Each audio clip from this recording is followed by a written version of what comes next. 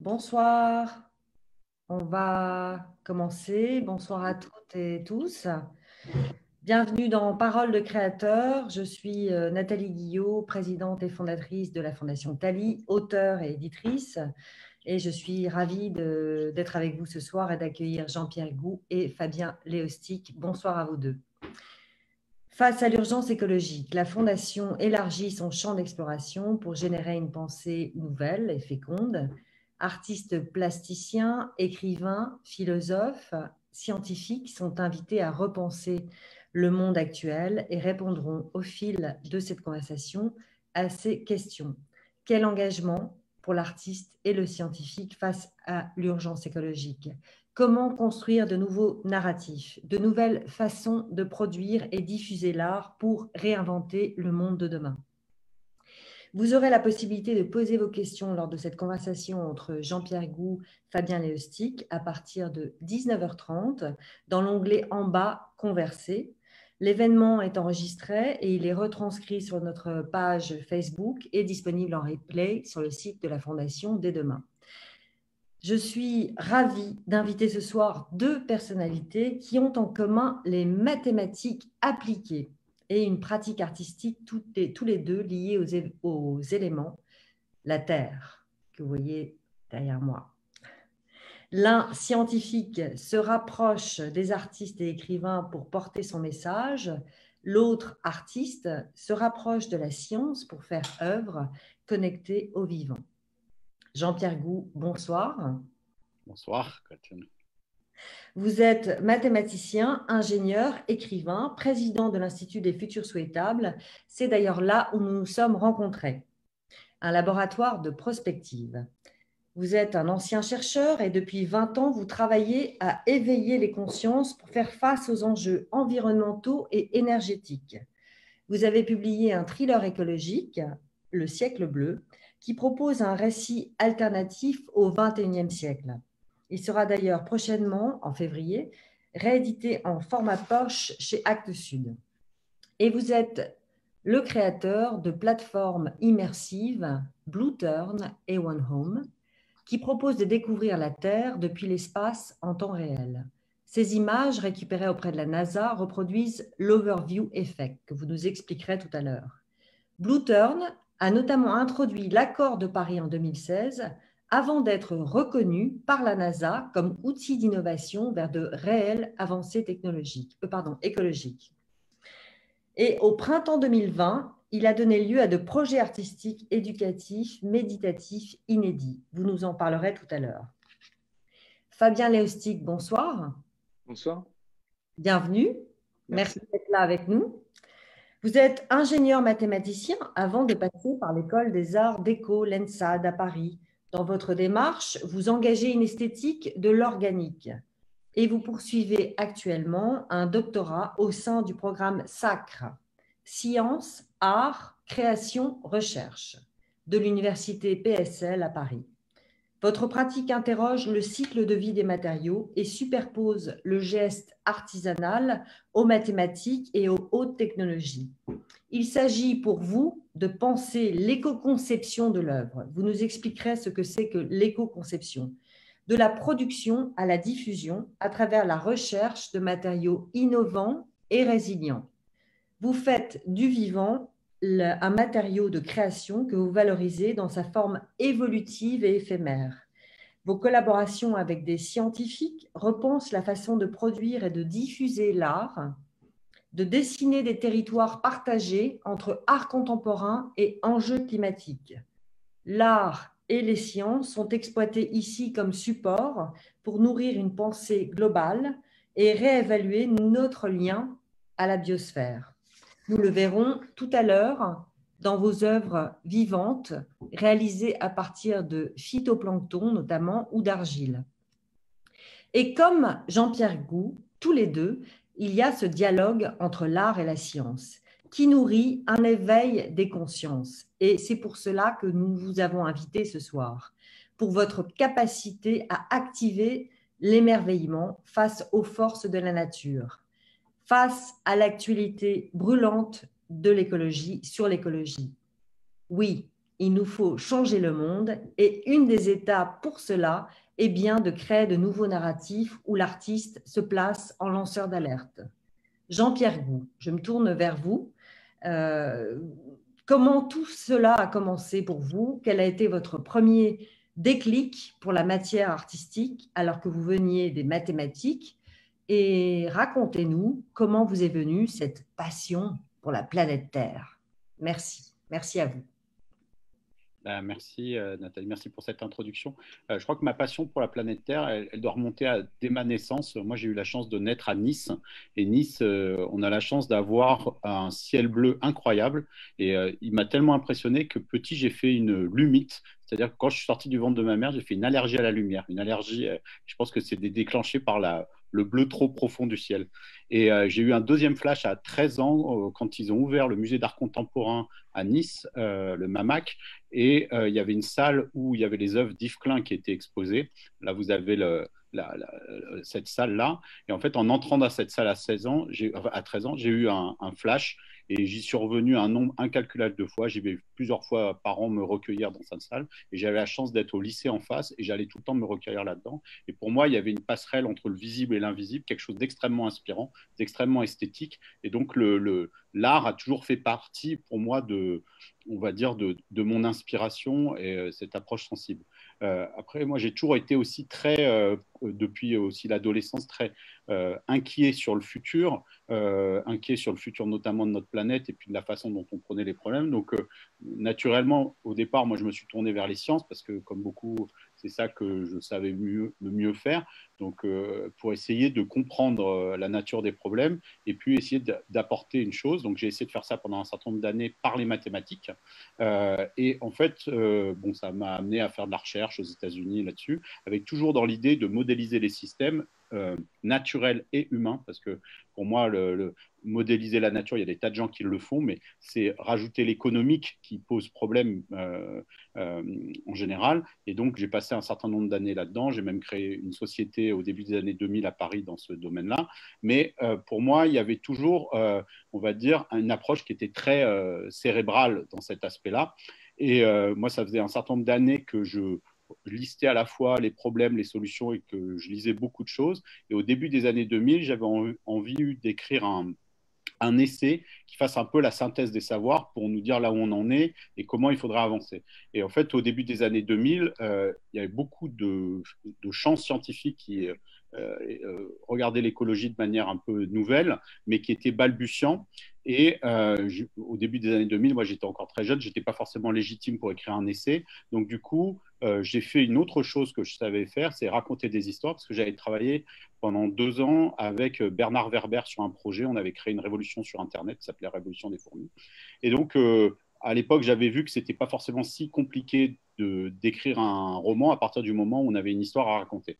Donc j'ai commencé à écrire ce roman. Ce que je ne savais pas, c'est que ça allait me prendre dix ans. Donc ça m'a pris entre 2000 et 2010 le temps de l'écrire, de le réécrire euh, et d'apprendre à écrire des personnages, des histoires euh, et de façon à faire un récit inspirant des années prochaines parce qu'à l'époque c'était un récit d'anticipation et euh, là c'est sorti il y a presque dix ans, ça a été réédité. Mais beaucoup de choses à l'époque étaient de l'anticipation. Maintenant c'est devenu de la réalité, on va dire.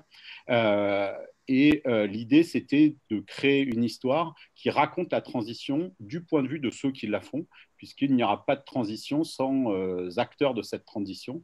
Et euh, c'était aussi ce que je trouvais qui aurait manqué dans un essai, c'était de mettre en lumière celles et ceux qui, par leur valeur, par leur courage, par leur par leur euh, détermination, euh, vont faire éclore euh, une révolution écologique. Donc c'est un roman en deux tomes qui raconte une révolution écologique en 28 jours. le premier tome, c'est les 14 premiers jours, le deuxième tome, c'est les 14 jours suivants. donc ce roman, ça m'a amené à réfléchir à, la fois au pouvoir des récits, mais aussi au pouvoir on va dire, de, des émotions.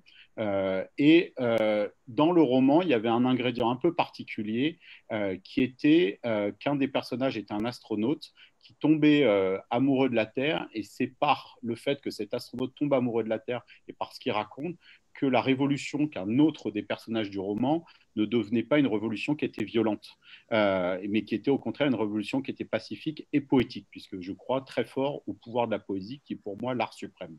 Je pourrais expliquer pourquoi. et donc, ce regard poétique de l'astronaute sur la Terre, en fait, cette transformation, elle a pour nom ce qu'on appelle l'overview effect, si on peut regarder la slide suivante, où les, en fait, les astronautes, quand ils regardent la Terre vue depuis l'espace, c'est tellement beau et ils sont dans des circonstances extrêmement particulières, en apesanteur, dans le silence, avec la peur, qui peuvent euh, avoir un éveil de conscience, un choc euh, presque mystique, ça s'appelle l'overview effect. Et euh, quand j'avais découvert ça, en, il y a longtemps, en 96, j'ai toujours eu l'idée de me dire, ça doit être reproductible informatiquement. Donc il y a 4-5 ans, avec des amis, enfin avec un ami, on a réussi pour la première fois, slide suivant, en fait, à hacker euh, les alors slide encore d'après euh, des, images en fait d'un satellite de la NASA qui se trouve à 1 500 000 km de la Terre et qui en fait le seul satellite à toujours filmer la Terre tout éclairée et euh, moi j'avais le sentiment que pour pouvoir avoir un choc émotionnel, il fallait montrer des images que les gens n'avaient jamais vues. Vous les verrez à la clôture de cet euh, événement et de les incorporer dans une expérience esthétique. Et mon inspiration est toujours euh, celle euh, d'Yves Klein. donc, on a monté un premier projet qui s'appelait Blue Turn en 2016, où j'ai fait pas mal le tour euh, de, je fais presque 200 conférences là-dessus dans tout type de lieux, tout type de personnes. Et l'idée, ça a vraiment été euh, bah, de tester pour voir qu'est-ce que les gens appréciaient ou pas là-dedans et est-ce que les gens savaient pouvez leur faire revivre en salle euh, cet overview effect grâce à ces vidéos de la, de, la Terre qu'on avait réussi à reprendre. Et on a lancé au mois d'avril dernier une ONG qui s'appelle One Home, dont le but c'est d'intégrer ça artistiquement pour faire une œuvre qu'on répondra dans le monde. Alors avec le Covid, on n'a pas tout lancé encore. Il y a un certain nombre de choses qui vont être lancées en 2021, notamment ce que vous avez sous les yeux, c'est que après avoir euh, fait faire l'overview effect aux gens, on va leur demander d'exprimer une déclaration poétique une déclaration amoureuse à la Terre. On va collecter ça. Ça fera la forme de petites étoiles. Et l'idée, c'est de faire euh, justement cette révolution bleue et de, de, concentrer tout l'amour qu'ont les humains pour l'humanité sur cette plateforme. Et tout ce que l'on fait sur cette plateforme sera disponible pour d'autres artistes pour faire d'autres expériences artistiques. Nous, on en a un certain nombre en tête, mais euh, on va essayer de, développer ça. Euh, ça, c'est donc ce qu'on lancera cette année. Peut-être deux autres mots en attendant que euh, et pour vous montrer le rôle de l'art, en attendant qu'on euh, puisse ouvrir cette plateforme à tout le monde, on a demandé à des artistes de déjà s'exprimer. Donc, on a demandé à trois artistes qui viennent du monde de la musique d'exprimer euh, justement cet amour de la terre. Donc Yael Naïm nous a fait l'honneur de nous faire une, chanson pour nous, le DJ Agoria qui est un des plus grands DJ français aussi dans la musique électronique, et puis Mark Yeager que vous avez au centre, qui était euh, l'adjoint de Hans Zimmer, qui a composé la musique de Gladiator et de Pirates des Caraïbes, qui nous a fait aussi une musique. Donc eux, ils ont exprimé par la musique leur amour à la terre. On a aussi demandé, slide suivant, là, à des philosophes, à des... donc on a deux astronautes, le fondateur de de, Biosphère 2, une poète, euh, Leina Sato, et puis Satish Kumar, qui est euh, le fondateur du Schumacher College et de la Deep Ecology, qui est pour moi l'écologie du cœur, qui est vraiment la voie du futur, qui nous a fait un message admirable. Tout ça, vous pouvez le trouver sur notre site One Home. Vous avez les, conséquences, les, coordonnées juste après. Et euh, donc ça, c'est le slide suivant, voilà, onehome.org ou sinon onehome.org tout attaché sur les réseaux sociaux. Il y a plein de choses sur Instagram notamment que vous pouvez suivre. Et euh, en ce moment, bah, là pour l'instant, euh, One Home, on, attend de voir comment la situation évolue pour lancer les, prochaines étapes.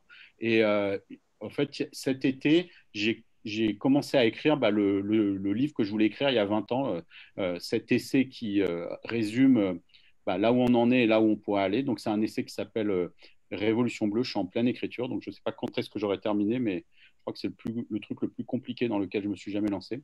Euh, donc, euh, voilà. Et vous avez dit, Nathalie, que le, siècle bleu sortait chez Actes Sud au mois de février. Donc, c'est vraiment pour moi un, un honneur parce que c'est une maison à la fois qui est extrêmement connu dans le domaine du thriller et du polar, qui est mon mode d'expression que j'avais choisi pour cette œuvre, et aussi une maison très engagée dans l'écologie, donc je suis ravi, et vous avez la couverture en exclusivité.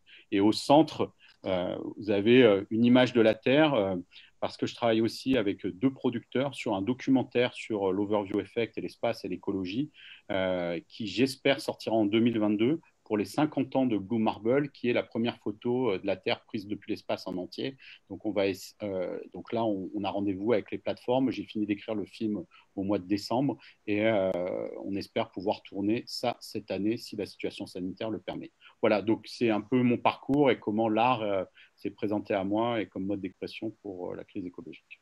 Merci Jean-Pierre. Donc, euh, Klein à la Révolution bleue au siècle bleu. Et vous, Fabien Léostic, quel a été votre euh, déclic euh, vis-à-vis de la matière, la matière dans son ensemble, parce que vous travaillez le vivant Comment tout cela est, venu et ce parcours double, à la fois sur la recherche et en même temps sur la pratique et l'exposition d'œuvres dans des espaces d'exposition. Donc, comment vous, quelle est votre approche euh, par rapport au vivant? Enfin, pourquoi le vivant? Euh, bah, Déjà, merci euh, Nathalie pour l'invitation. merci à vous. pourquoi le vivant? Bah, Déjà, vous faites bien de, effectivement de préciser que le vivant ne se limite pas justement à, à l'organique, parce qu'effectivement, j'en suis venu à travailler avec des phytoplanctons, mais pour moi, la rencontre du vivant s'est faite d'abord avec l'inorganique. Donc, je, situerais ça environ vers 2012 euh, ou 2013, où j'ai commencé justement à, travailler sur les, phénomènes imperceptibles qui, euh, habitent notre environnement, qui, euh, qui, vivent autour de nous en même temps que nous, avec qui nous, cohabitons en permanence. Et euh, quand j'ai commencé à, étudier ces phénomènes, donc je me suis aperçu que se dévoilaient devant moi grâce à la lumière, je les révélais grâce à de la lumière et, se révélaient devant moi donc des, formes, des comportements de la matière qui semblaient effectivement prendre vie. Donc ça, c'était vraiment euh, à partir de 2013, je pense, euh, vraiment le, point où, euh, où j'ai commencé à, vraiment prendre conscience que le, vivant s'étendait au-delà justement de, de l'organique. Et ce qui m'a intéressé particulièrement dans cette, dans cette matière, mais Jean-Pierre en parlera certainement mieux que moi, c'est qu'à partir d'un certain moment, quand la matière est, en train d'évoluer de, devant nous, on, elle arrive à un certain point qui est un point qu'on appelle le point de perturbation euh, en, mécanique des fluides, où euh, l'homme est incapable de pouvoir prédire ou de pouvoir, euh, de pouvoir savoir quelle va être la suite des événements et quelle va être la suite de l'évolution, en tout cas de cette d'une volute par exemple quand elle quand elle rentre en perturbation. Donc ça pour moi ça a vraiment été ça a vraiment été un déclencheur. Et euh, ça, j'étais déjà dans, un, dans, dans, une, dans une construction d'une démarche artistique. Et euh, c'est que plus tard, en 2018, que j'ai intégré le, le, programme de recherche doctorale sacre, où là, justement, je collabore avec un, avec, un, avec le CMA, qui est le Centre des mathématiques appliquées de l'école des mines, qui est, euh, et l'ENSAD Lab, qui est euh, le laboratoire de recherche des arts décoratifs. Et euh, au CMA, ce qui est intéressant pour moi, c'est qu'ils travaillent avec l'outil mathématique pour faire de l'analyse prospective. Donc, euh, ils, définissent des, scénarios qui, euh, qui, qui, sont euh, à la base de mon travail, que je viens scruter pour essayer d'avoir une espèce de vue sur, sur un futur souhaitable ou un futur désirable. Ça aussi, on pourra reparler de, de ces notions un petit peu plus tard. Je, je vais m'arrêter là pour laisser le, le plus de place possible à la discussion.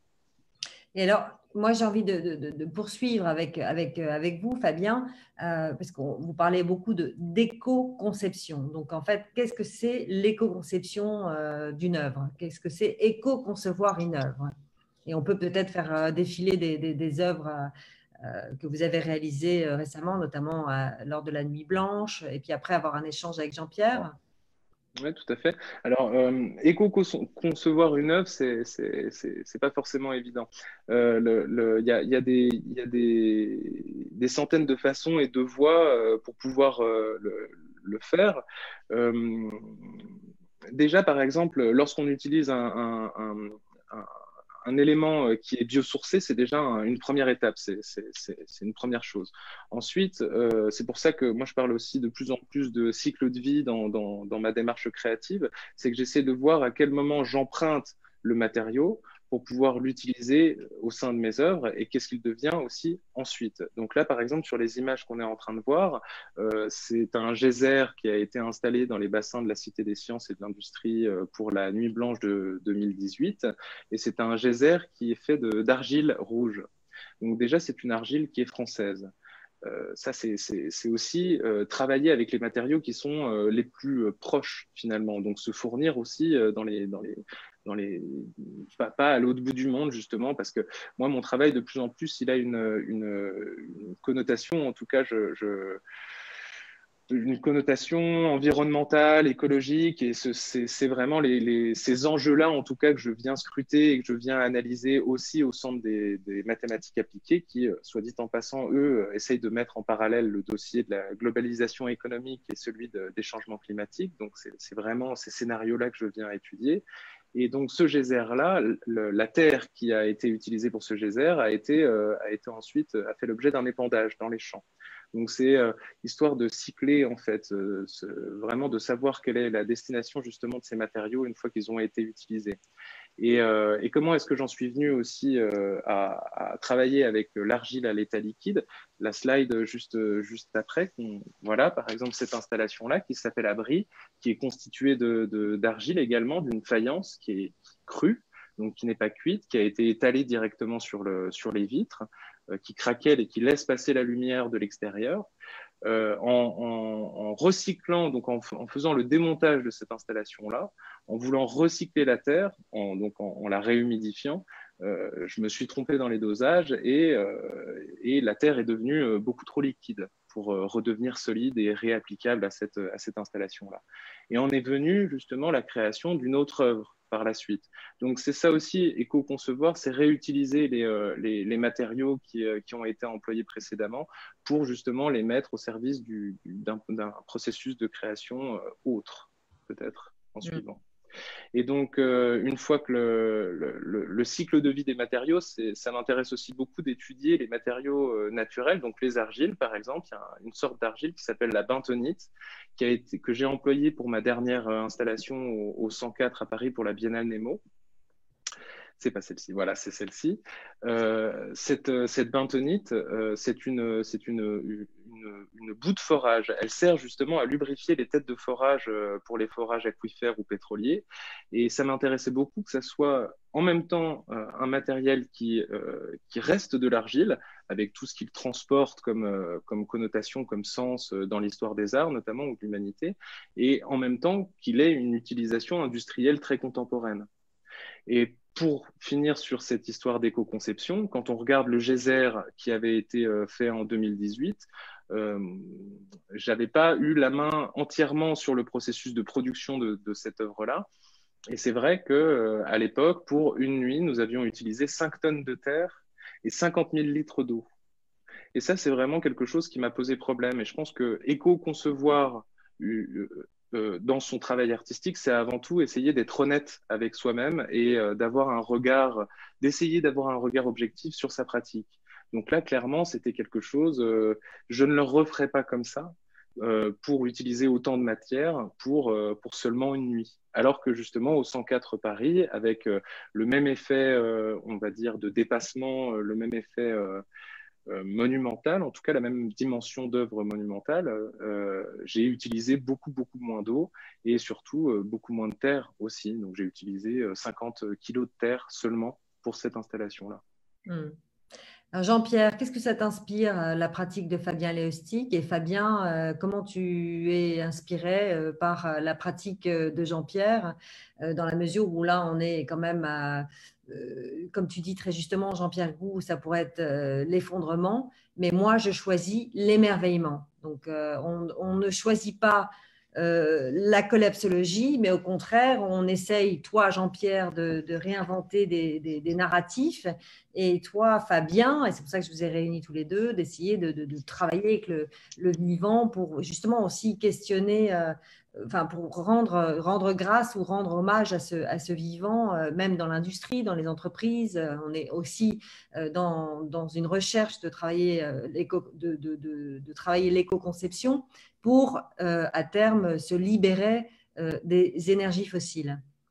Alors, si c'est possible. Ouais, ouais, le... Déjà, la première chose qui me vient en voyant les œuvres de Fabien, euh, bah, c'est la beauté, c'est-à-dire la beauté et l'inspiration euh, des éléments, euh, enfin des quatre éléments de la Terre, et pour moi, la beauté est vraiment un driver d'émotion. Et l'émotion, c'est ce qui nous met en mouvement et qui nous donne envie d'aller vers quelque part. Et cette esthétique, euh, à la fois pour poser les problématiques et l'esthétique de la solution, je crois que c'est quelque chose qui est vraiment très important, euh, que tu essayes de faire, que moi j'essaye de faire aussi dans mes, dans, mes travaux. Euh, mais c'est ça qui me vient, voilà, harmonie. il y a aussi un côté dans ce que tu fais qui est de l'ordre du choc visuel ou du choc émotionnel. Et ça, moi, je crois à ça, c'est-à-dire qu'une œuvre d'art, en tout cas, moi, celle qui me plaît, c'est les œuvres qui interpellent à la fois pour ce qu'elles veulent dire, mais aussi au départ un, choc esthétique. Euh, et l'overview effect est un choc esthétique. Quand la première fois que les astronautes voient la Terre depuis l'espace et qu'ils ont ça, euh, euh, ils ont, il y a quelque chose qui se provoque, une ouverture du cœur. Donc, euh, je crois qu'il y a des éléments là qui sont très importants. Tu parlais de la collapsologie, je pense qu'elle a son rôle comme lanceur d'alerte, mais évidemment, euh, elle nous montre plutôt un futur vers lequel on ne veut pas aller plutôt qu'un futur vers lequel on souhaiterait aller. Donc, euh, elle a, son intérêt pour rappeler aux gens qu'on est dans une situation qui est dramatique et qui est plus là pour nous montrer qu'est-ce qui se passerait si on ne faisait rien. Et par rapport à ça, c'est important de développer d'autres narratifs pour enrichir ça avec euh, une esthétique des solutions. C'est aussi ce qu'on essaye de faire à l'Institut des futurs souhaitables, qui n'est pas juste un institut de prospective qui élabore des scénarios euh, euh, technico-économiques, mais qui est là pour baliser et esthétiser le chemin entre aujourd'hui et 2040, parce que c'est vraiment notre horizon de réflexion à l'Institut des futurs souhaitables. Et euh, moi, je crois à ça, et ton œuvre, elle, elle s'inscrit complètement dans, euh, cette logique-là de, d'œuvres monumentales qui interpellent et qui, euh, donnent envie de se questionner et d'avancer. Et toi, Fabien, alors comment tu, tu réagis face à... Oui, alors mais justement pour, pour rebondir euh, aussi un petit peu sur le, justement le, la prospective, c'est ça qui est, euh, qui est extrêmement intéressant en prospective quand on parle de, de futur souhaitable, c'est que euh, la prospective, elle n'est pas, au contraire de la prévision, elle, ne dit pas ce que va être demain, elle, elle, essaye de fixer un futur qui soit souhaitable et désirable, comme je le disais, mais surtout elle essaye de définir ce qu'on doit mettre en avant maintenant dans le présent pour justement arriver à ce futur souhaitable. Et c'est ça qui est, euh, c'est ça qui est, c'est ce que j'essaye en tout cas d'appliquer aussi à ma pratique, dans la manière de le faire et dans le sujet que j'essaie de traiter. Après, euh, c'est vrai que le, quand on parle d'overview effect, euh, euh, j'ai envie de dire, euh, c'est le but de, tous les artistes quand ils, dévoilent une œuvre, quand ils essaient de, montrer une œuvre euh, qui peut avoir une dimension perceptive assez forte, parce qu'il y a, le visuel, certes, hein, mais il y a, par exemple, dans l'œuvre La Terre est-elle ronde du 104, il y avait aussi beaucoup d'humidité dans l'air, il faisait très chaud, il y avait une dimension sonore aussi qui portait vraiment la, pièce. Mais pour en revenir à l'overview effect, ce choc cognitif qu'il a provoqué euh, à l'époque. Hein, c'était, en 72, euh, je crois, euh, cette première photo qui avait été prise par Apollo 17. C'était c'était la première fois qu'on avait, qu'on avait justement, qu'on, pouvait prendre conscience de cette finitude des choses, de la, de la délimitation aussi de notre planète qui nous paraissait aussi petite, qui nous paraissait aussi fragile. Enfin, ça, c'est vrai, c'est vrai que c'est vrai que euh, toutes les œuvres d'art peuvent jalouser ce, cet overview effect et je pense qu'il à, il réinventer et on doit le réexploiter effectivement et on doit le revisiter encore et encore. dans ce que tu dis là, euh, dans le, caractère multisensoriel, alors évidemment là on l'a vu que sur euh, diapo, ton œuvre, mais je suis content de voir qu'il y a cette exploration des autres sensations et euh, le, multisensoriel, c'est quelque chose de très important. Par exemple, dans l'overview effect, euh, les autres sens sont très importants euh, parce qu'ils sont mobilisés dans l'expérience de l'astronaute. C'est-à-dire que faire un overview effect sur Terre, c'est plus difficile parce qu'on n'est pas en apesanteur, on n'a pas la peur qui nous ronge, enfin il manque un certain nombre d'éléments qu'on essaye d'introduire par la musique et par d'autres choses, mais le, sens de la vue et de l'autre et, de la euh, de la vision et, de l'ouïe, c'est deux sens euh, qui sont très importants spatio-temporels, mais les autres sens sont aussi très importants. Et euh, les, poètes qui arrivaient par des poèmes à créer des poèmes, on va dire, multidimensionnels par la synesthésie, c'est-à-dire la, conjonction des, perceptions des différents sens, bah, c'est pour moi les poèmes synesthésiques, ce sont les plus beaux. Quoi. Et activer les capacités synesthésiques des gens, c'est-à-dire leur capacité à ressentir par tout leur sens ce qu'ils voient, pour moi, c'est une des choses que peut provoquer l'overview effect. Et le, qu'est-ce que ça change chez les gens? En général, ça peut changer le regard. Quoi. Et euh, les expériences qui sont de nature transformative qu'on peut avoir en deep écologie ou dans l'espace en regardant la Terre euh, ont ce pouvoir de changer le regard, c'est-à-dire un peu l'état d'être et la façon dont on regarde le monde. Je crois que c'est là vraiment l'essence de notre euh, rupture avec la biosphère, c'est qu'on la regarde plus, ou en tout cas on la regarde plus avec des yeux aimants ou des yeux poétiques. Et provoquer par l'art ou des expériences ce changement de regard, pour moi, ça peut être de nature politique, voire révolutionnaire. Et alors, comment ce Blue Turn va-t-il évoluer? Comment souhaites-tu qu'il évolue? Euh, Turn One Home. Donc, euh, one home. constellation. Euh, donc, comment euh, tu imagines que cette œuvre d'art, parce que pour toi, il s'agit d'une œuvre d'art, donc, il s'agirait peut-être de la montrer dans des musées, euh, de, que ça soit interactif. Quelle est ta, vision? Quand on lancera cette plateforme qui permettra à chacun euh, de, déclarer l'amour à la Terre, euh, il y a plusieurs, on va dire, étapes. La première étape, c'est de collecter beaucoup d'étoiles différentes pour réunir de la diversité, donc du plus grand nombre de pays avec des populations très différentes. On veut vraiment faire participer les enfants, parce que les enfants, ils ont une connexion intuitive avec la nature et recueillir leurs émerveillements, ça peut être de nature à influencer aussi les adultes qui écouteront les déclarations d'enfants, des déclarations vocales, et un enfant qui parle de la beauté et de son stress à la voir se, disparaître, ça peut faire un peu le même effet que Greta, même si Greta a toujours euh, un discours qui est très dur. Là, le fait d'avoir des discours poétiques d'enfants, ça peut être euh, très touchant par des adultes. Donc déjà, la première phase, c'est de collecter euh, des, étoiles d'amour dans un grand nombre de pays et d'enfants, mais aussi après d'aller chercher les chefs d'entreprise,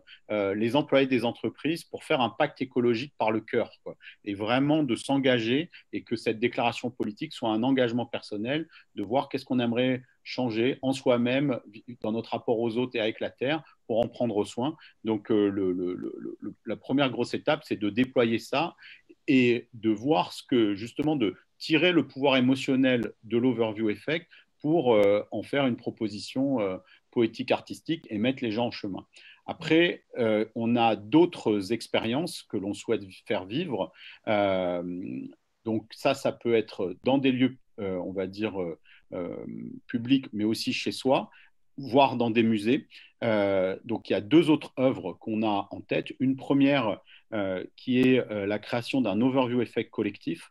Donc là, c'est euh, intéressant parce que je réutilise les mathématiques et je travaille avec un mathématicien avec qui je travaillais il y a 20 ans et qui est maintenant patron des data science chez eBay. Et l'idée, c'est de vraiment faire euh, réunir des gens par centaines ou par milliers au même moment, de regarder où ils sont localisés et de les positionner en cercle et de leur faire faire un overview effect collectif où on va les synchroniser par le cœur avec l'expérience qu'ils sont en train de faire.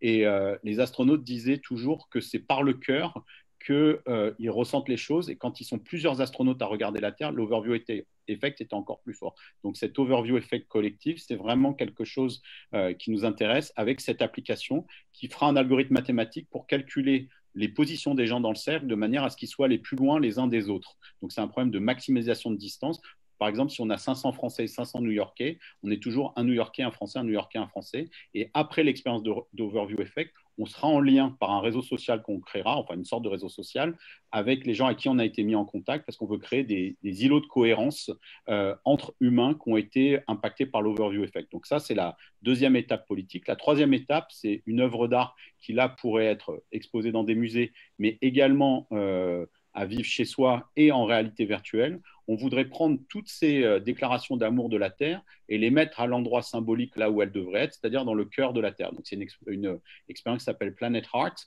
Et euh, l'idée, c'est que les gens plongent dans une caverne souterraine, un peu comme une caverne néolithique, dans lequel euh, on, aurait, enfin paléolithique, dans lequel on aurait toutes les étoiles de la Terre qu'on a envoyées dans le cœur de la Terre qui l'illumine, comme une grotte illuminée, dans lequel on pourrait cheminer et ressentir cet amour de la Terre. Et là, il y aura juste une musique avec des ondes θ et euh, de, des battements de cœur. Et là, c'est une expérience sensorielle complètement différente, plus d'inner view effect que d'overview effect.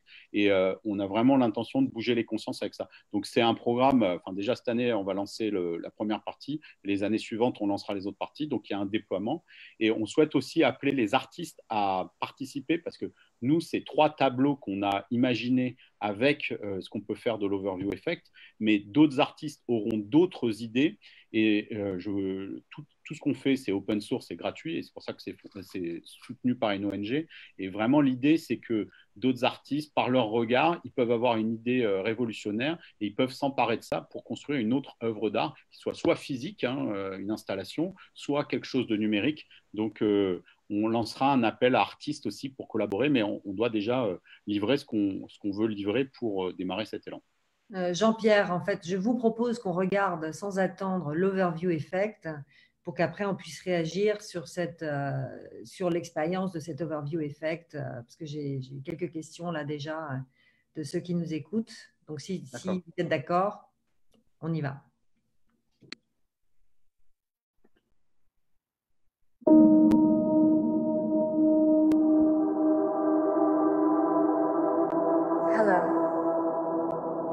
Human.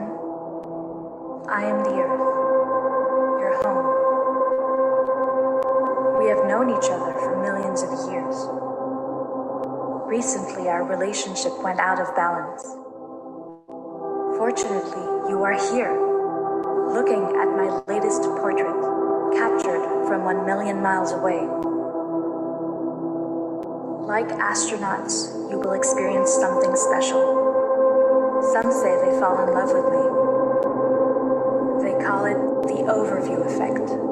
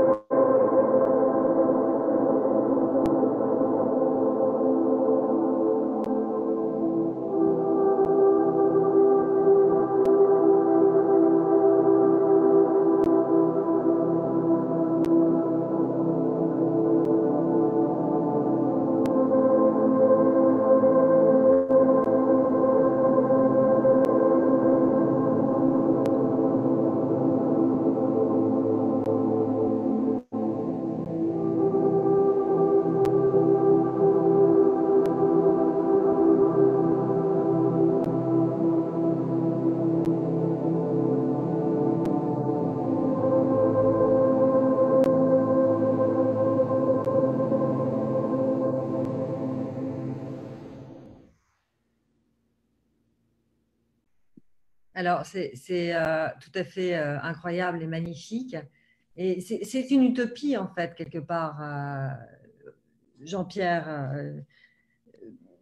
parce qu'il y a une. Est-ce qu'il n'y aurait pas une dissonance cognitive entre, justement, les, ces, narratifs et l'économie qui, actuelle, qui est toujours dans une idée de, croissance et d'un toujours plus? Donc, il y, a, une dichotomie entre différents mondes qui, finalement ne, se rencontrent toujours pas. Qu'en pensez-vous, tous les deux? Euh, Juste euh, sur ça, justement, moi j'ai beaucoup réfléchi à cette question de l'économie et de savoir comment euh, on peut changer les choses. quand on a introduit l'agriculture au moment de la révolution néolithique il y a, 10 000 ans, on a commencé à quantifier, peser euh, la nature et on l'a plus regardée que par rapport à euh, ce qu'elle représente en termes monétaires. Et le regard qu'on a posé sur elle, c'est un regard quantitatif. On la regarde comme euh, soit une source de production, soit même pas, soit comme un décor, soit comme une poubelle. Et je crois que le, changement, si on veut réintroduire un changement de valeur, il doit passer par le fait d'avoir à nouveau un regard poétique qui se pose sur la nature. Et ça, c'est de nature à changer la valeur qu'on pose aux choses. Et quand vous regarderez un chêne, vous ne le regarderez pas juste par rapport au poids économique qu'il a, mais aussi par rapport à son rôle écosystémique. Et donc, je pense que la reconnexion à la nature, qu'elle soit par une expérience d'écologie profonde ou l'overview effect ou les deux combinés, euh, elle est extrêmement importante pour savoir à quoi les gens apportent une valeur et que du coup, euh, chacun dans nos comportements ou dans les entreprises, on conçoive euh, nos actions avec une réflexion écosystémique qui prenne en compte l'interdépendance des choses. Donc, pour moi, c'est pas, ça paraît éloigné au départ, mais c'est la seule voie possible, c'est-à-dire de se remettre au cœur du vivant. De toute façon, on y est toujours. Hein. On est nous-mêmes euh, une colonie de cellules, une colonie de bactéries connectées à, des fluides qu'on respire ou qu'on boit qui sont euh, traités, filtrés par l'ensemble du reste du vivant, mais c'est juste qu'on ne la regarde plus. Donc, euh, pour moi, c'est très compatible justement avec un changement économique. Ça peut sembler qu'on parte de plus loin, mais toutes les autres tentatives qu'on a fait pour changer l'économie en remplaçant l'énergie par des panneaux solaires, etc., on ne change pas la problématique qui est notre rapport à la Terre et notre rapport au vivant. Donc pour moi, si on ne touche pas à ce préalable et qu'on ne touche pas par le cœur, il n'y a aucune chance pour que les transformations du système économique débouchent sur quelque changement que ce soit vis-à-vis de la biosphère.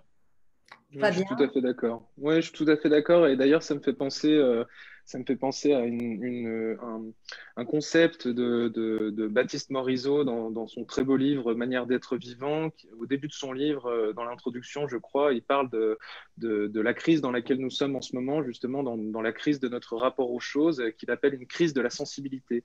Et je trouve que ça dit assez bien les choses. Et je crois que je, je suis tout à fait d'accord avec Jean-Pierre, justement, dans, cette, dans ce besoin de reconnexion. Et c'est un peu le travail. C'est-à-dire que euh, moi, quand, je, quand, je, quand je, je, montre une installation, à un moment donné, euh, il y, a, y, a, pas mal de, de, de, visiteurs, euh, quand je les rencontre, qui me disent alors, qu'est-ce que ça veut dire? Quel est le sens de votre, de votre installation?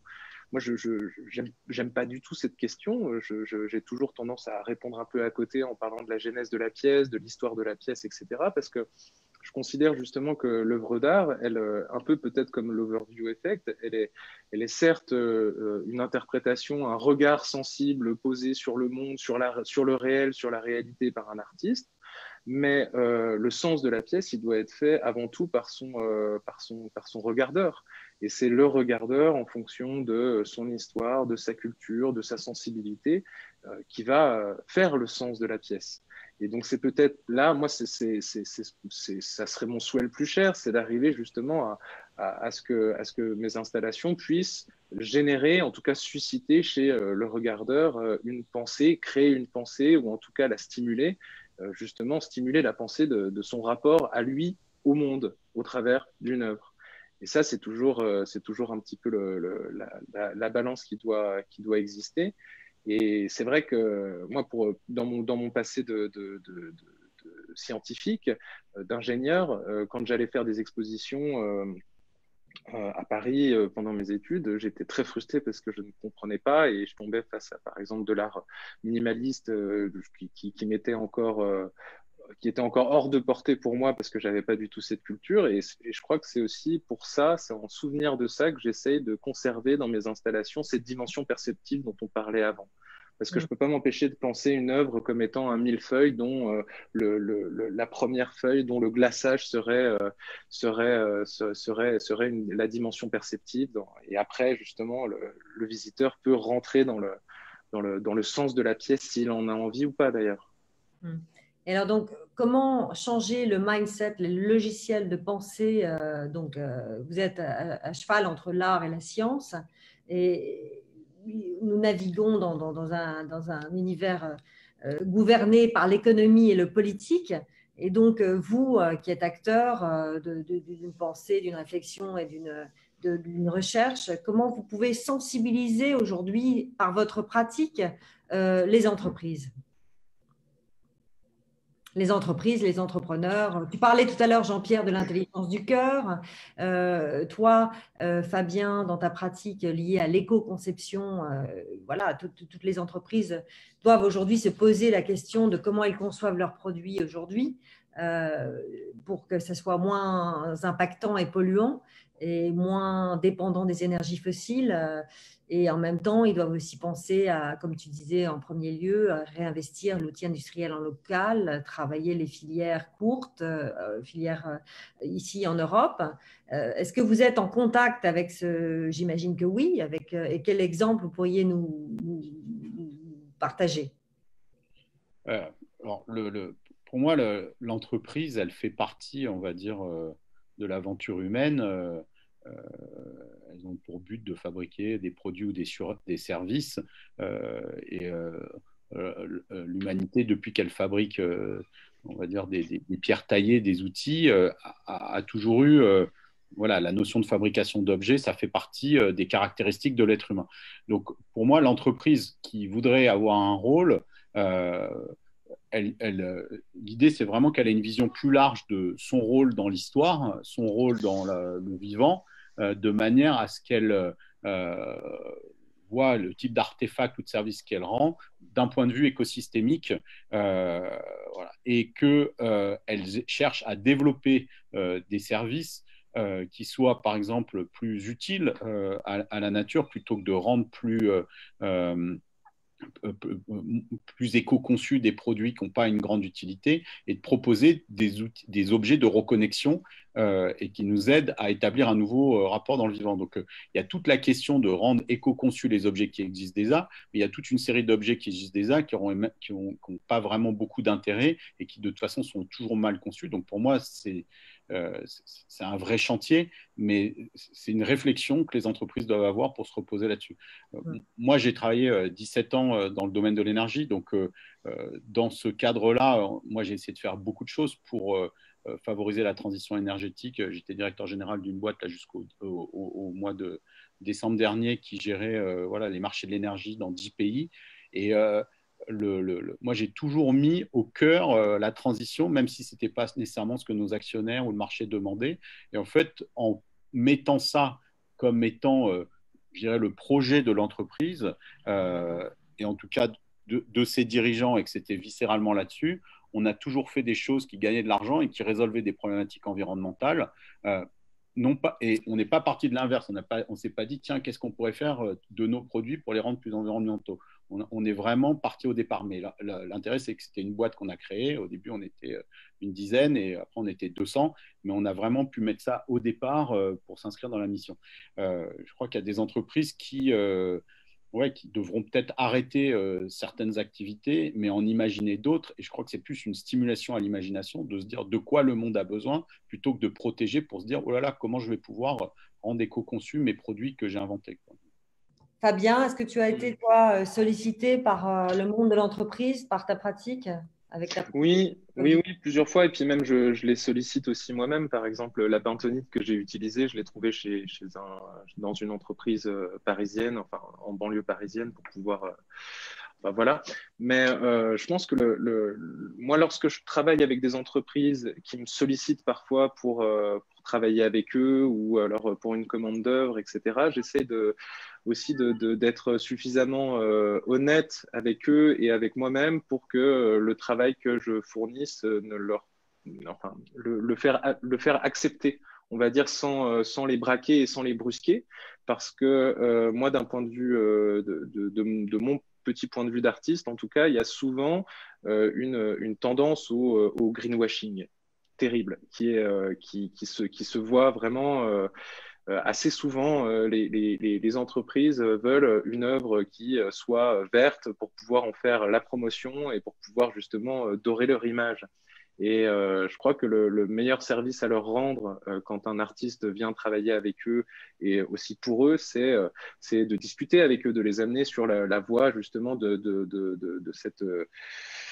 De, cette honnêteté intellectuelle, on va dire, dans, dans les propositions qui peuvent être faites par des artistes, qui peuvent être faites par des artistes. Hmm. Alors, Blue Turn était un, indicateur pendant la, pour les, accords de Paris en 2015.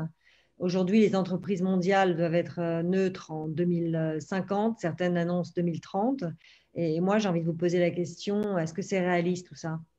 Vous qui êtes dans la recherche et entrepreneur, toi Jean-Pierre et, et toi Fabien dans cette, dans cette recherche perpétuelle à la croisée de, de, l'art et des sciences. Donc est-ce que est-ce qu'il y a, je ne sais pas, un manque de communication entre, le, entre les différentes parties, économie, politique alors que nous, vivants, on est tous aujourd'hui en train de vivre la même chose? Alors, concernant le. Pardon, vas-y, Concernant, le, concernant par exemple le, le, domaine de l'énergie, euh, moi j'ai assisté au travers de mes recherches à, plusieurs euh, euh, grands workshops qui réunissaient des laboratoires du monde entier avec des, des, grands industriels. voilà, tout le monde se met autour de la table, on assiste à des jours et des jours de conférences, etc. etc.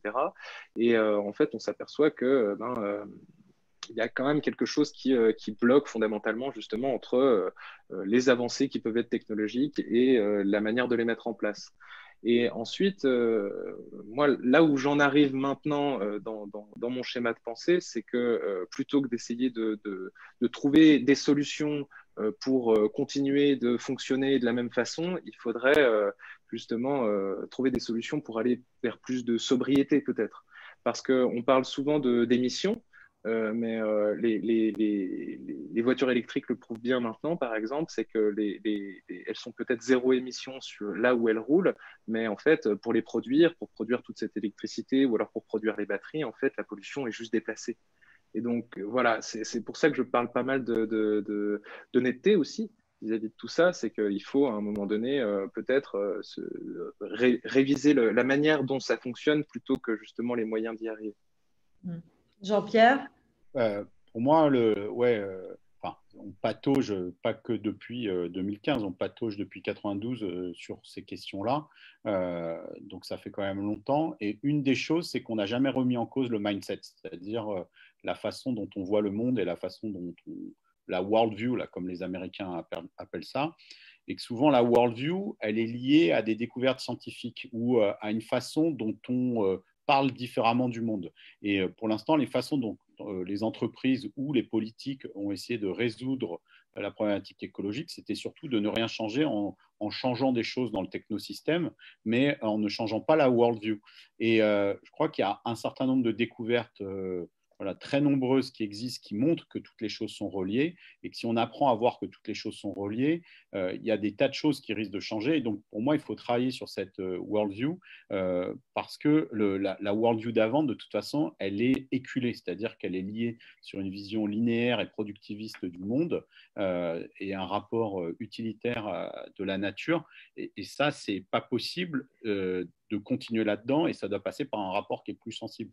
Moi je dirais remettre du sensible hein, par l'art, par euh, les émotions, par, euh, euh, ça. Et quant à savoir si c'est possible, bon, 2050 c'est loin, donc on a, on a le temps. 2030, je pense clairement pas que le monde sera zéro carbone en 2030, mais ce n'est pas l'objectif de l'accord de Paris. moi là, je sors d'une réunion avec la Commission européenne cet après-midi sur, on va dire, passer l'intégralité du gaz que l'Union européenne fait en gaz vert, hein, c'est-à-dire hydrogène ou euh, euh, biométhane. Et euh, là, il y a un objectif de moins 55% à 2030. Et je travaillais cet après-midi avec la Commission européenne sur les scénarios pour y arriver et le, le fait de développer les policy making pour, pour y parvenir, on est dans le concret là. Alors c'était une approche on ne peut plus euh, technocratique avec la Commission européenne, mais on est dedans. On travaille sur des scénarios concrets pour voir comment chacun des pays vont s'insérer là-dedans. Donc euh, les accords de Paris sont en train d'être devenir contraignants par les, pour les États qui, bah, qui, s'emparent de la problématique. Et je pense que ce qu'on va voir, c'est que la contrainte en général, et ça a toujours été la même chose dans l'évolution, est stimulatrice de création et d'innovation, de, et qu'à partir du moment où vous avez une personne qui crée quelque chose euh, qui marche, bah, les autres vont l'adopter. Donc, euh, euh, on ne va pas attendre que tout le monde s'y mette. Si des gens intelligents s'y mettent et utilisent la créativité des gens et l'innovation, on peut y arriver. Euh, tu parlais de la, voiture électrique, oui, effectivement, euh, il peut y avoir du greenwashing sur la voiture électrique, mais euh, elle résout quand même le problème de, la dépendance aux énergies fossiles. Elle crée d'autres problèmes sur d'autres ressources, mais la, voiture électrique, c'est une révolution. Cette année, on devrait voir les premières voitures électriques qui sont moins chères que des voitures au carburant. Euh, et ça, c'est ce qui fait peur à tous les producteurs euh, de, voitures à essence. Euh, et c'est une révolution. Il y a cinq ans, aucun producteur de voitures à essence ne la prévoyait. Et donc, l'intelligence peut amener à des ruptures. Donc, elle ne résout pas tout, hein, la voiture électrique, mais ça, ça, montre que les solutions, quand elles arrivent et qu'elles sont là, elles peuvent, en cinq ans ou à dix ans, remplacer tout le parc économique. Je suis tout à fait d'accord. Mais par exemple, quand je parlais de la voiture électrique, évidemment, c'est une révolution et évidemment, il faut qu'on aille vers ça. Ça, c'est certain. Ce que je veux dire, c'est que la solution, euh, pour moi, elle est pas seulement technophile. Ah oui, mais euh, il faut, il faut être, euh, il faut voir que là, voilà, la, pandémie nous montre que bon ben, on peut, il y a énormément de choses qui peuvent se faire à distance. Donc oui, évidemment, peut-être qu'on peut, s'éviter des bouchons dans les, tous les matins et tous les soirs dans les grandes villes en laissant les gens travailler de chez eux et ça n'enlève pas forcément la productivité il y a des gens qui sont obligés d'aller au travail, donc, euh, donc ils le font, on va dire c'est normal, hein, parce qu'ils produisent des choses physiques, physiquement, mais il y a beaucoup de, beaucoup de métiers qui peuvent se faire à distance, par exemple. Ce que je veux dire, c'est qu'en même temps la voiture électrique, mais en même temps un changement de, de mentalité.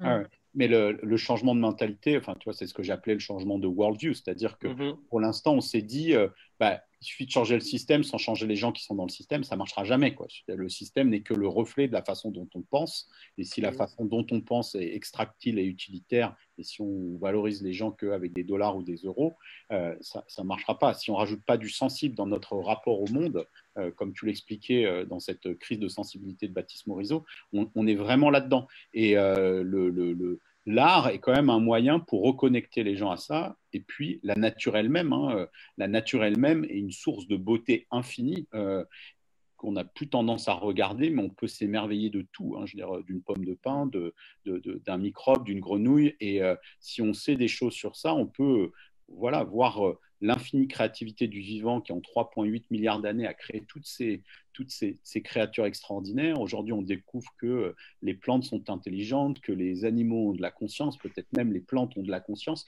On, est dans une époque qui est révolutionnaire, où tout ce qui nous entoure euh, devient merveilleux. Il l'était déjà, mais euh, la science nous le révèle, et c'est à nous de l'incorporer dans notre rapport au monde. Donc l'art comme euh, vecteur de, pensée, euh, de pensée nouvelle, en tous les cas d'éveil de conscience, et au-delà de cet éveil de conscience, de potentiel, pour mener des actions. Et c'est ce que tu fais avec euh, One Home et Blue Turn. Et la conversation touche à sa fin, donc je, vous remercie tous les deux pour vos, inspirations et de partager votre, votre pratique. Alors j'ai une, question, une petite question, ou plutôt une remarque de In Vanson qui dit oui, je suis tout à fait d'accord avec Fabien, mais qu'est-ce qu'il pense du fait que nous sommes tous sur Internet en ce moment, ce qui utilise énormément d'énergie aussi? Oui, alors ça, justement, le rapport au numérique, c'est un vrai, euh, une vraie thématique. On commence à s'y pencher justement un petit peu. Et, euh, c'est vrai que ça, soulève encore d'autres choses. Mais je pense que entre une journée passée sur l'ordinateur à travailler de chez soi et transférer quelques documents et prendre sa voiture pour rester bloqué 45 minutes dans les bouchons euh, parisiens à l'aller et au retour, je crois qu'il y a quand même un peu un. Je pense qu'on est quand même gagnant. Mmh. Euh, le, le, sur le numérique, enfin, le numérique aujourd'hui, on le voit toujours comme un problème, mais c'est aussi quelque chose d'extraordinaire. C'est ce qu'on fait avec le numérique. Euh, euh, moi, j'avais été complètement fasciné en 93 quand le web a été créé. un mois après, moi, j'avais ma première page web. Je suis arrivé en école d'ingénieur au moment où le web se créait. Et je voyais ce village global que Télard de Chardin ou d'autres grands penseurs avaient imaginé euh, Marshall McLuhan ou d'autres des personnes comme ça, euh, et qu'on pouvait relier les gens, faire des projets ensemble. Et euh, moi, c'est ce que j'ai toujours fait depuis longtemps. Et je pense que la, trace écologique des projets que j'ai fait par rapport à la reliance que ça crée ou l'impact est supérieure. Donc, Évidemment, quand on regarde le web marchand ou euh, le web pour euh, aller regarder de la vidéo à la demande au maximum, bah, là, effectivement, c'est très euh, énergie, consommateur d'énergie. Une conférence comme ça, bah, déjà, si on avait tous pris notre voiture pour y aller, ça, voilà, ça permet à des gens qui sont loin de ne pas de pouvoir y participer. Donc, je pense que c'est une très bonne chose. Moi, j'aurais préféré qu'on ait une partie de nous-mêmes qui soyons tous ensemble parce que le rapport humain nous manque, mais bon, nous manque, mais on, est dans cette, dans cette période très particulière. Mais le, le numérique, il ne faut pas le jeter complètement parce qu'il a un impact énergétique. Tout a un impact énergétique. Le fait de descendre de chez vous et de marcher, ça a un impact énergétique. La seule chose, et c'est ça vraiment le cœur pour moi de la transition énergétique, c'est pas de remplacer l'énergie qu'on a par une énergie plus propre, c'est de se dire pourquoi est-ce qu'on a besoin de l'énergie Garder l'énergie, et ça c'est toute la réflexion sur les économies d'énergie. Si demain on avait des énergies renouvelables sur tout, on, continuerait l'opération de destruction du monde en fait. Donc euh, la réflexion sur l'énergie, elle ne doit pas être juste sur la décarbonisation, elle doit être sur euh, une réflexion sur euh, voilà, le rôle de l'énergie dans notre activité et à chaque fois le rôle qu'a cette énergie indirecte sur la biosphère et sur les humains, hein, puisque la, technologie écrase aussi un certain nombre d'humains. Donc c'est tout ça auquel il faut regarder, mais on ne peut pas juste dire une conférence comme ça, ça a un impact énergétique. Donc euh, euh, on peut le questionner, mais euh, je pense qu'il est, infime par rapport aux bénéfices que ça crée, enfin j'espère. Autre question, puisqu'il est déjà 19h30, une question pour Fabien. Fabien, pourquoi choisissez-vous de ne pas travailler avec une galerie, de ne pas être représenté par une galerie? Ce n'est pas un choix. Ce n'est pas un choix. non, c'est-à-dire que. Mal à travailler avec le vivant. Non, non, c'est pas, c'est pas du tout ça, parce qu'il y, y, a vraiment des, des galeries qui sont, euh, des galeristes qui sont, qui sont très ouverts aux pratiques expérimentales, aux pratiques éphémères, euh, etc. Non, c'est, c'est plus, euh, c'est plus que, c'est vrai que chez, chez, chez un galeriste, j'attends, j'attends beaucoup de choses de ce genre de collaboration. Donc, c'est vrai que j'attends de trouver de trouver la bonne personne. Parce que ce, justement, euh, être euh, une collaboration avec un galeriste, c'est un petit peu, euh, quand un artiste collabore avec un galeriste, c'est un petit peu comme s'il se mettait en couple. Donc, il faut être sûr que ça se passe bien. Merci. On revient à, la, hum, problématique de l'entreprise, puisque Jean-Pierre a été entrepreneur pendant 17 ans, enfin chef d'entreprise. Jean-Pierre, pensez-vous que les dirigeants d'entreprise sont ouverts à une vision plus poétique, justement? Vous avez un peu répondu tout à l'heure, plus axée sur l'humain, l'intelligence du cœur. Et donc, s'il fallait leur donner deux arguments euh, devant un chef d'entreprise, ce serait quoi? Je, sais, enfin, le, en tout cas, les chefs d'entreprise, il y en a beaucoup qui sont bah, des êtres humains. Hein. Derrière le chef d'entreprise, il y a un être humain euh, qui a du cœur. Et euh, quand vous faites une expérience qui sont sensibles, moi, j'ai deux PDG de très grandes entreprises, je ne peux pas citer leur nom parce qu'ils n'aimeraient pas forcément être cités, qui ont pleuré en voyant ces images. Et euh, ça a énormément ému, donc euh, tout le monde est capable d'émotion. Je crois que déjà, pour les chefs d'entreprise, il faut leur donner cette qualité d'humain, c'est-à-dire que ils sont arrivés là ben, par un concours de circonstances et un effort personnel, mais euh, c'est des gens qui ont envie de changer les choses, mais ils ne savent pas comment faire entre leurs employés, les solutions qu'ils ne connaissent pas forcément, euh, les actionnaires qui sont là avec un pistolet, les concurrents qui sont là en face. C'est pas simple d'être chef d'entreprise. C'est pas quelqu'un qui a décidé de faire du mal. Je crois que la première chose à faire vis-à-vis d'un chef d'entreprise, c'est de lui reconnaître son statut d'humain et euh, de partir avec l'idée qu'il euh, est tout à fait euh, honnête dans sa démarche. Et si on travaille dans cette base-là, on peut aller très loin après dans la construction euh, de, scénarios ou d'imaginer une vision. Donc, première chose, voilà, c'est ça. et la deuxième chose, travailler sur la vision. C'est-à-dire qu'il y a beaucoup d'entreprises qui partent de là où elles sont aujourd'hui pour imaginer demain ou 2030 je crois que les grandes disruptions, et il y aura besoin de disruption, euh, partent dans l'autre sens. C'est-à-dire qu'il faut imaginer ce qui rêverait que soit son entreprise en 2030 et qu'elle soit compatible avec ce que ce monde devrait être en 2030, c'est-à-dire beaucoup plus bas en carbone et beaucoup plus euh, aligné vis-à-vis de la biodiversité, parce qu'on parle toujours du climat, mais la crise du vivant est encore plus grave pour moi et, et plus compréhensible pour les gens. Et l'un aide l'autre et vice-versa, et, euh, qui partent de cette vision pour après imaginer le chemin. Parce que euh, quand on part de là où on est, justement, on a tous les problèmes d'actionnaires, de concurrents, on ne rêve pas et on fait que de l'innovation incrémentale. L'innovation de rupture, ça passe par euh, des scénarios complètement disruptifs, l'imagination. Et si vous proposez un plan comme ça à vos actionnaires et à vos employés, vous développerez une créativité infinie. Donc, prendre le futur comme un point d'appui pour euh, libérer le présent. Et ouais, c'est notre motto à l'Institut des futurs souhaitables d'ailleurs. Euh, merci à vous deux en tous les cas. Donc là, j'ai envie, très envie de parodier euh, l'Institut des futurs souhaitables. Un petit clin d'œil à Jean-Luc Véraud et à Mathieu Baudin qui nous écoutent, j'espère. Et donc, j'ai envie de vous poser la question des questions. l'enjeu des enjeux pour vous, c'est quoi demain? Et le livre qui vous a lu, que vous avez lu et qui vous a le plus inspiré et que vous pourriez nous, conseiller. Donc l'enjeu des enjeux et le livre à lire. Pas bien. Pierre euh, bah, Non, vas-y, vas-y. Non, non, vas-y, vas-y. Je vais chercher le livre à lire, je vais vous le montrer. J'allais faire la même chose. Mais euh, non, l'enjeu des enjeux, euh, c'est la, la, la, sauvegarde des écosystèmes. Ça, c'est vrai que c'est c'est pour moi là tout ce qui nous arrive c'est vraiment euh, c'est déjà déjà c'est lié à ça mais c'est petit comparé à ce qui nous attend quoi. Et ça de toute façon tout le monde le sait c'est vrai que c'est c'est vrai que c'est pour moi c'est ça l'enjeu des enjeux. Et je vais chercher le titre du livre euh, pendant que l'enjeu des enjeux pour pour, bah, pour moi l'enjeu des enjeux je l'ai un peu dit, pour moi, c'est changer notre regard sur le monde, parce que c'est de là que ça démarre. Changer, c'est très difficile. Tout le monde a essayé de, perdre des kilos ou d'arrêter de fumer ou d'arrêter de, manger de la viande, c'est très difficile. Et euh, parce qu'on a une tête qui fonctionne à 100 à l'heure et euh, avec des conditionnements, etc. Et il y a une chose qu'on peut changer et qui peut nous apaiser, c'est ce regard qu'on porte sur le monde, ce regard amoureux. Et si on développait ça, euh, je pense que c'est beaucoup plus facile de changer après. Et le livre euh, qui m'a le plus inspiré, c'est ce livre-là. Je ne sais pas si vous voyez le titre. C'est un livre. Bobin, oui, un poète. Voilà, Christian Bobin, qui s'appelle Le plâtrier siffleur. C'est un livre de 14 euh, pages et ça fait deux ans que je l'ai relu 50 fois et c'est le livre qui m'a vraiment le plus inspiré. Je l'ai offert 50 fois aussi.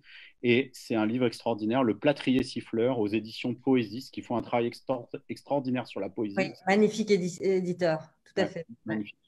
Fabien Ça serait euh, Ce à quoi nous tenons de Émilie H. Ce à quoi nous tenons d'Émilie H. Oui. Ok, merci infiniment à vous deux. Euh, c'était vraiment passionnant et j'ai hâte de vous voir bientôt en présentiel à la Fondation Tali à Bruxelles. Et la semaine prochaine, je recevrai euh, d'autres euh. Tariq Shekchak, expert en biomimétisme, qui sera en conversation avec l'artiste designer Marlène Wissou, qui travaille à partir des cocons de soie. Merci à vous tous. Et Merci beaucoup. Belle, euh, belle soirée à vous tous et à très bientôt. Merci beaucoup. Au revoir Jean-Pierre. Merci, à très bientôt. Au revoir. Au revoir à tous. Bonne soirée. Au revoir à tous.